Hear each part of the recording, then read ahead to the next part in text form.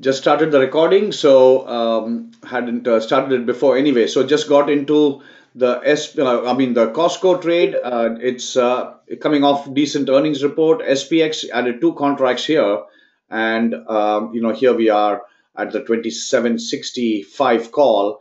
Have two contracts open there. So Costco, if you look at it, uh, five contracts, 84. So that's a $420 trade. It's a very small trade. It's a very small trade, $420. So here we are. If you look at it from that angle, we are almost up 30%, uh, 35% over here. Uh, I would wait for Costco to move up. Uh, uh yeah, so now it's close to 40% on Costco. Yeah, it just took it out. So it's at 50% uh, and uh, it should be going higher. So 55% close to that. I'm going to take off two contracts, folks, or, or take off three contracts actually.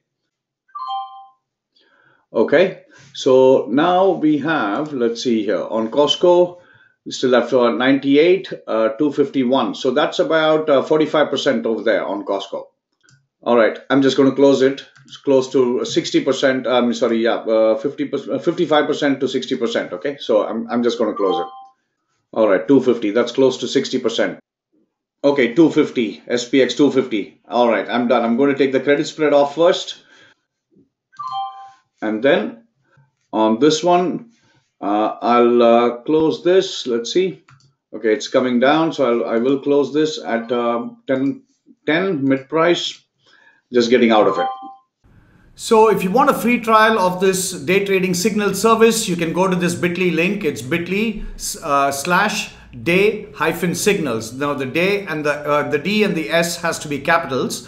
And once you go there, you can get a free trial. You can, you'll need to sign up there and you'll get a free trial. And uh, at the end of one week, if you don't want to continue, you can just send us an email at info at optiontiger.com and we'll give you a full refund. So once again, the bit.ly link is bit.ly slash day hyphen signals with the DNS in caps. Thank you.